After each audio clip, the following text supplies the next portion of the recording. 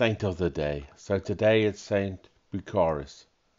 So on this day, March the 26th, 2024, we honor Saint Bercharius, a figure whose life exemplified unwavering faith and dedication to serving others. Born in the 7th century in France, Saint Bercharius was drawn to the monastic life from a very young age, eventually entering the monastery of Montfaucon-sur-Moine. His commitment to a life of prayer, study, and selfless service soon marked him as a devout and respected member of the community. St. Bercharius was renowned for his humility and simplicity, qualities that endeared him to both his fellow monks and the wider community. Despite his position within the monastery, he was known to perform the most menial tasks with joy and dedication, seeing them as opportunities for spiritual growth rather than burdens to be endured.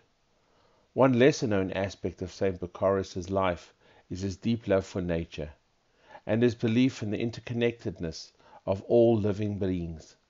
He often spoke of the beauty of God's creation and the importance of stewardship in caring for the earth and its inhabitants.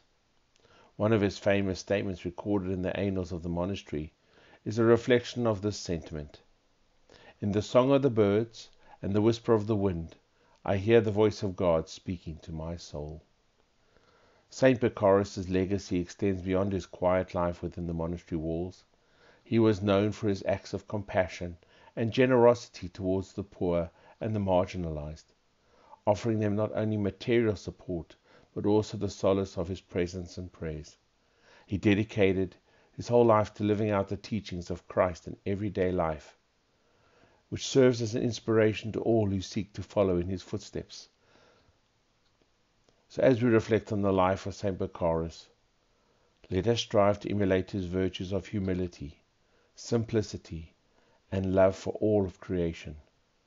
May his example remind us that greatness is found not in the grand gestures or worldly acclaim, but in the humble service of others. Let us pray.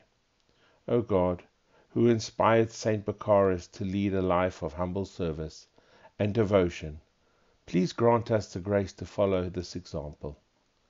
May we, like him, find joy in the simple tasks of everyday life and strive to bring your love and compassion to all whom we encounter. Through his intercession may we grow in holiness and draw closer to you, now and forever.